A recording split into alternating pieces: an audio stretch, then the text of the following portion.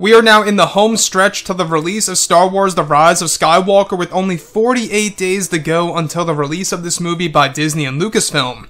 This is Mike Zeroh. Make sure to subscribe if you are new to the channel for future Star Wars content.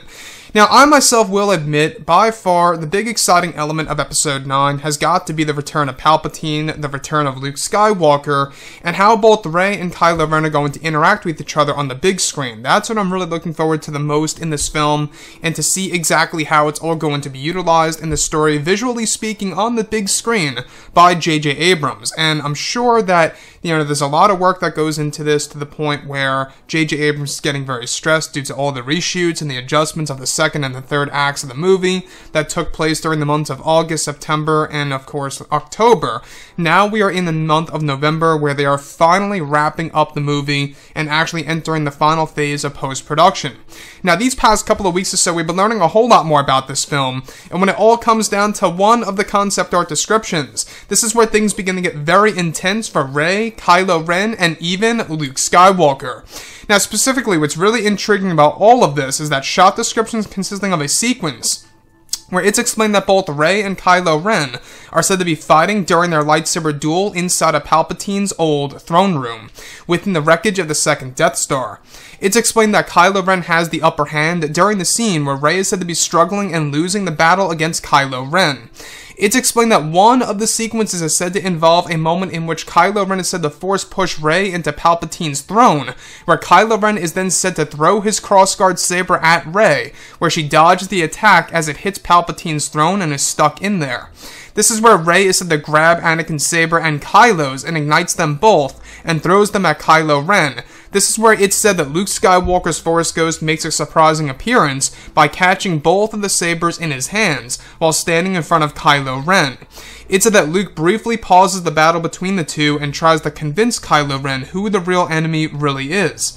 The sequence is said to involve a moment in which Kylo Ren is not convinced by Luke's Force Ghost, where Kylo begins to shoot Force Lightning at Rey, where just as this happens, Luke's Force Ghost tosses back the Skywalker Saber to Rey, and is said to vanish as Rey blocks the Force Lightning by Kylo Ren. Where Kylo Ren's saber is said to tumble down to another area of the second Death Star, just after Luke vanishes. So let's go over a couple of parts about this. Now, we can already see that J.J. Abrams is trying to evolve Force Ghosts and what they are able to do in the Star Wars franchise, as we saw in The Last Jedi, where literally Yoda was able to manipulate the mortal world by creating lightning in the sky, striking the tree library. I want to go over a real symbolic piece here, though, that does match with the leaks that Rey is indeed the granddaughter of Palpatine. Do note that there is a moment in which, of course, Kylo Ren force pushes Rey into Palpatine's throne, where Rey is literally sitting in Palpatine's throne. That to me is by far the most symbolic piece of Rey being related to Palpatine in The Rise of Skywalker, especially during her duel against the grandson of Darth Vader. That's the actually said to be the moment in which Kylo Ren throws the saber at Rey and it actually stabs through the actual you know, throne of Palpatine in the actual second Death Star. Now, this is said to be a moment in which Luke's Force Ghost intervenes. He actually appears in the middle of their lightsaber duel just as Rey throws the two sabers at Kylo Ren attempting to kill him, where Luke stops that from happening. Now, I know a lot of fans out there are going to disagree with that because, as Obi-Wan Kenobi said at one point in time in the original trilogy, that I cannot interfere.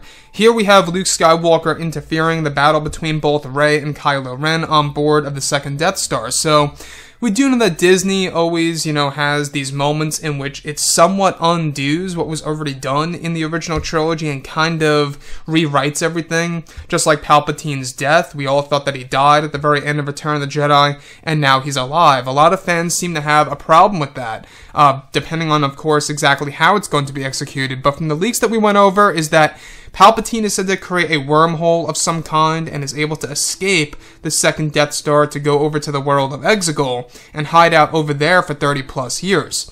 Now, the thing about episode 9 here is that this particular scenario does indeed evolve the character of Luke and what a Force Ghost is able to do. So Luke is actually able to interfere and literally pause the battle between both Rey and Kylo Ren, where Luke is trying to knock some sense into Kylo, you know, telling him that Palpatine really is the true enemy here. You know, why are you two fighting? Let's get right down to it and destroy Palpatine once and for all. But Kylo Ren is not convinced. He's still associated with the dark side at this point in time, where once Luke vanishes, Kylo Ren's crossguard is said to tumble down to another section of Palpatine's throne room, where Rey is actually now left with a Skywalker saber and Kylo is left with no saber.